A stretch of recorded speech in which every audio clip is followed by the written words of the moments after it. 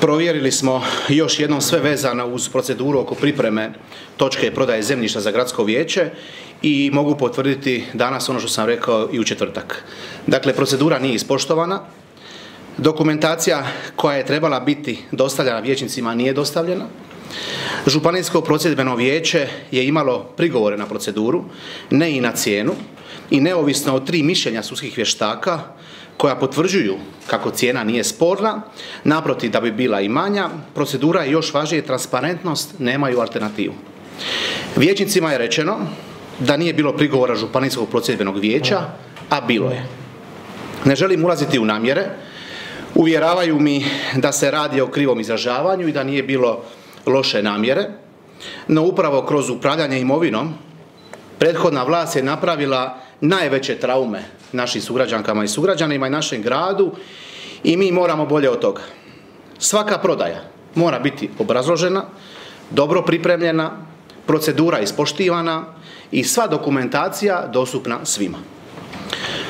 Uskoro će biti završena strategija upravljanja imovinom, radili smo internu reviziju korištenja gradskih stanova i ako postoji dio upravljanja u kojem ćemo do kraja mandata napraviti značajnu promjenu, onda je to upravo upravljanje imovinom našega grada. Zato sam odlučio napraviti promjene. Jutro sam zahvalio pročelniku Prhatu, ali i pojedinim službenicima iz tog odjela. Ne treba gledati ljude crno-bijelo, niti suditi zbog propusta.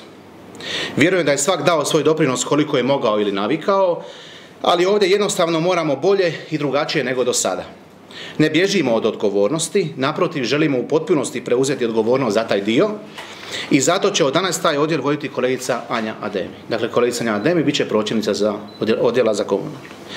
Kolegica Ademi je dio mog najužeg tima, osoba od maksimalnog povjerenja, neka djeluje i kao vatrogasac, zbog posla i tako dalje, no ona zna na kojim principima inzistiramo, a ujedno je dobro upoznata i s temama i ljudima u odjelu, tako da neće biti potrebno uhodavanje.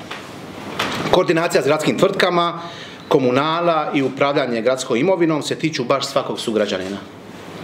Zato sam odlučio da ona preuzme taj dio i hvala što je prihvatila taj zadatak. Pred nama su godine gradnje, nabava, investicija i tu trebamo profesionalizam, transparentnost i povjerenje.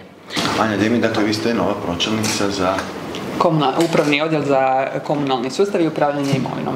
Mhm, dobro, što će biti sad konkretno s ovim slučajem prodaje toga zemljišta?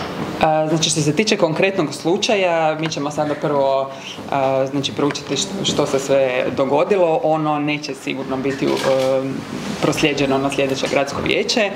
Kao što sam rekla, strategija upravljanja imovinom je u svojoj finalnoj fazi, biti će upućena na javno savjetovanje do kraja mjeseca.